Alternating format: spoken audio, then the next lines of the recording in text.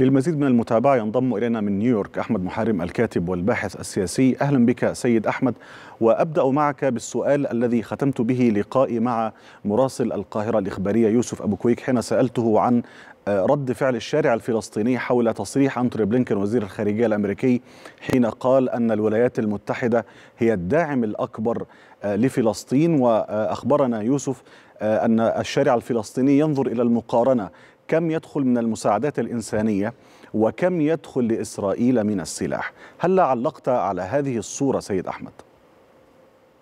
آه نعم التحية والتقدير صباح الخير. إحنا الحقيقة تعودنا على إن في تصريحات بتكون شبه مستفزة بتصدر عن القيادات الأمريكية. آه يعني لما نقول إن إسرائيل بقيادتها كلها أكبر داعم لها هي الولايات المتحدة الأمريكية فده شيء معقول ومقبول. يمكن بتتفاوت فيه من إدارة لإدارة ومن فترة زمنية لفترة زمنية ومن رئيس لرئيس. لكن أن تكون تصريحات بتقول أن أمريكا هي داعم لفلسطين نحاول أن نفسر هذه الجملة. كيف تكون أمريكا داعمة لفلسطين؟ إذا كانت المعابر إسرائيل أفلاها إذا كان السلاح كمية السلاح ونوعيته اللي أمريكا زودت بها إسرائيل غير مسبوقة. إذا كان القرارات اللي في الأمم المتحدة هي الدولة الوحيدة اللي بتقف أمام العالم كله وتستخدم حق الفيتو اعتراضا على وقف إطلاق النار. فيعني الحقيقة كلام يعني إما للاستهلاك المحلي أو شبه مستفز. فالشارع الفلسطيني له الحق أن يعترض أو يتعجب أو يستنكر. نعم. دكتور سيد أحمد وأنت في نيويورك. هل أخبرتني لماذا فشل كل من الحزب الحزب الديمقراطي والحزب الجمهوري في كل محاولاته التي باءت بالفشل بالأمس في تبني قرار لمعاقبة الجنائية الدولية. بالتأكيد أنت لا تستطيع أن تسبح ضد التيار. يعني لما تكون دولة بحجم الولايات المتحدة الأمريكية لأول مرة نسمع في التاريخ أن دولة تحاكم محكمة. وأن دولة يتحدث فيها المسؤولين عن أن المحكمة أصبحت يعني تقدر تقول مش على هوى الإدارة الأمريكية. وبالتالي ده شيء يعني بيعتبر ليس نكتة ولكنه فضيحة سياسية من العيار الثقيل ولا يستطيع يعني مجلس يمثل حكومة دولة أو يمثل شعب أن يمرر مثل هذا القرار الذي الحقيقة يعتبر سب في قرار يعني في في جبين الديمقراطية الأمريكية. إحنا بنقول أمريكا هي راعيه الديمقراطية في العالم لكن يصل بها درجة التدليل والحماية لإسرائيل أن تتهم أمريكا المحكمة الدولية بمثل هذا الاتهام وتحاول أن تحصل على صك لإدانتها. فطبعا ده شيء غير مقبول أو غير معقول كمان. لكن يعني في ذات الإطار سيد أحمد يعني حين نتذكر التصريح الذي أدلى به السيد كريم خان رئيس الجنائية الدولية الذي تحدث في لقاء تلفزيوني وقال أن بعض المسؤولين الأمريكيين رفيع المستوى تواصلوا معه إبان استصدار هذه المذكرة ضد بعض القيادات الإسرائيلية وقالوا أن قانون الجنائية الدولية لم يصنع للولايات المتحدة ولا حتى لحلفائها إنما جعل للبلطجية مثل فلاديمير بوتين على حد تعبيرهم ولدول العالم الثالث والفقير مثل أفريقيا. للأسف الشديد هي مش حكاية بس الكيل بمكيالين. هي الحكاية التكبر والغرور الذي يصل بالاستهزاء بالقيم والأعراف الدولية. لما يكون العالم كله 193 دولة الجمعية العامة للأمم المتحدة تجمع فيها 143 دولة على حق فلسطين بأن تكون معترف بها دوليا من قبل الأمم المتحدة وأن تكون دولة عضو دائم وليس عضو مراقب ويزداد هذا العدد تقريبا كل يوم والتاني بنلاقي دولة في أوروبا أو دولة في أمريكا اللاتينية. بتتعاطف وبتطالب من خلال مؤسساتها الدولية أن تدعم قرار أن تكون فلسطين دولة معترف بها من قبل الأمم المتحدة م. الحقيقة التبجح الأمريكي من خلال الدعم الغير مسبوق لإسرائيل يعني بيصيب هيبة وصورة أمريكا على المستوى العالمي أيضا بيصيب الشعب الأمريكي بنوع من الغضب إن مش دي دولته اللي كانت الصورة الذهنية عن العالم واخدها عن أمريكا أنها دولة راعية للحريات والديمقراطيات وداعمة لحق الشعوب المغلوب على أمرها أن تنتصر. لكن الحقيقة إذا كانت بتتكلم عن البلطجة فالبلطجة بتبدأ وتنتهي من أمريكا ومن إسرائيل.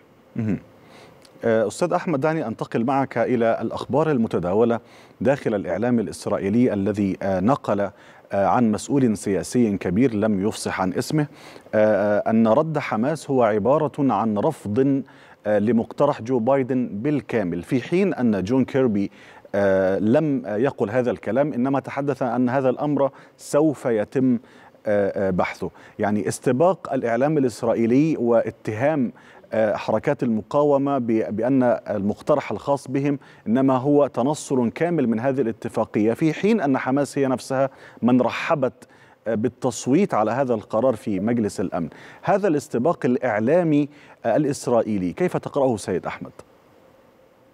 أه نحن تعودنا على مثل هذه النوعية من التصريحات اللي بتصدر من الجانب الإسرائيلي لإجهاض أي نوع من بارقة أمل يعني الحقيقة إحنا بقى لنا 8 شهور وداخلين في الشهر التاسع. لاول مرة يجمع مجلس الأمن على مشروع قرار طبعا تقدمت به الولايات المتحدة الأمريكية واستغرق ست أيام من المناورات والمناوشات والمشاورات حتى يخرج بالصورة التي تعطي كل الالتزام للجانب الفلسطيني ولا يوجد الحقيقة التزام واحد واضح على الجانب الإسرائيلي.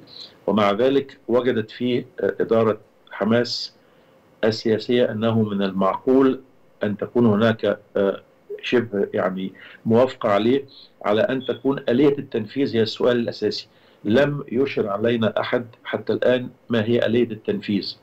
والمفروض العبء يلقى على الجانب الإسرائيلي ومع ذلك تعودنا أن تستبق إسرائيل بإجهاض أي محاولة. حتى وزير الخارجية بلينكن في جولته كل كلامه بيركز على أنه يجب على حماس. سوف ننتظر من حماس. لا يوجد من يلزم إسرائيل أو يقول يجب على إسرائيل. لكن يعني ابتداء أو يعني قبل حتى أن ننتقل إلى الخطوة المتعلقة بإصرارهم على فكرة حماس وحماس هل إسرائيل بحكم أنها الطرف الآخر في هذه المعادلة هل أعلنت صراحة أنها وافقت بشكل غير مشروط على هذا المشروع؟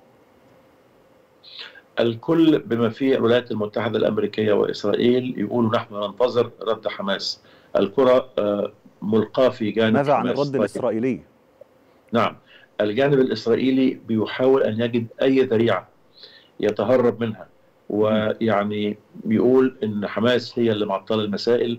وطبعا الفشل الذريع اللي حصل في إنه بعد كل هذه التخطيط وكل هذا الدعم الأمريكي الفضيحة بتاعت إن أربعة من الأسرى هم بس اللي في 8 شهور يطلعوا أربعة من الأسرى من مجمل 120 لمسألة تحرير رهائن ده بيمثل ضغط على الشارع ضغط من الشارع الإسرائيلي على حكومته. ومن ثم أعتقد أنه يعني في خيبة أمل على أساس مفروض أن بنيامين نتنياهو يستغل هذه الظروف ويحاول أن يجري صفقة صفقة تبادل أسرى وإيقاف الحرب والكلام في حل الدولتين. طبعا هو دايما عنده سياسة الهروب من الأمام ويسعى من كل هذه المناورات والمراوغات إلى إطالة أمد الحرب لأسباب تتعلق بمستقبله السياسي.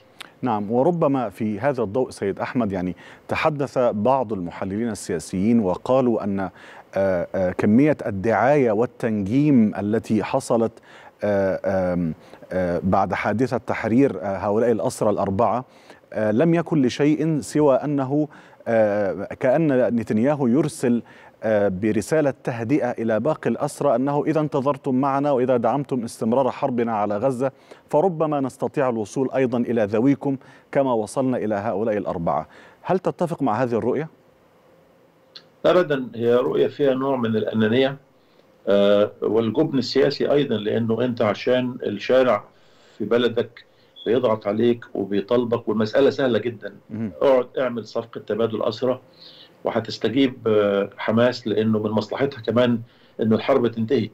ولكنه بيستغل كل الوسائل يعني أنت مجرجر وراك أمريكا أقوى دولة في العالم ومغلب وراك الأمم المتحدة والعالم كله. ولم تبدي خلال الثمان شهور داخلين في الشهر التاسع أي بادرة أمل لأنك أنت عندك استعداد لإيقاف الحرب.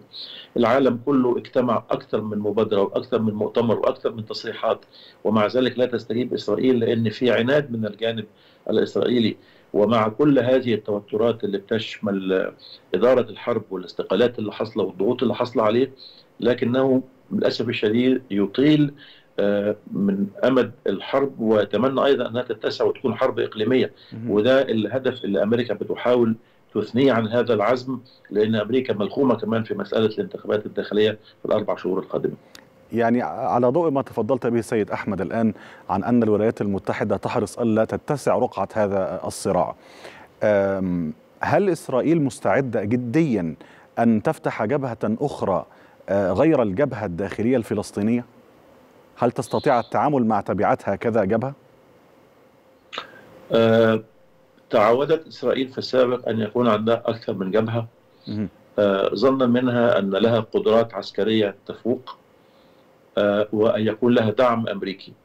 الحقيقة الدعم الأمريكي في المسألة دي لا أمريكا لا تريد لهذه الحرب أن تستمر لأنه الداخل الأمريكي منشغل في قضايا أخرى وتجرجر في الثمان شهور اللي فاتوا في حرب إسرائيل على غزة ولم تكن الإدارة الأمريكية في موقف يسمح لها لأنها تدعم إسرائيل بهذا الشكل وتنشغل عن أهمية دعمها لحرب روسيا ضد أوكرانيا وحربها أو مشاكلها المستقبلية مع روسيا والصين في بحر الصين الجنوبي. نعم أعتقد إنه في هذه المرة الظروف السياسية تسمح ولا أيضا الخوف الإسرائيلي من إن قدرات حزب الله ليست كما كانت في السابق بل زادت ومن ثم ذراع الطيران الإسرائيلي اللي كان طويل زمان في غزوه وفي هجومه على لبنان أعتقد إنه كان يكاد يكون مقيد بشكل ما في المرحلة القادمة ولذلك أعتقد إنها بس مناورات سياسية أكثر لكن لا تريد إسرائيل ولا تستطيع أن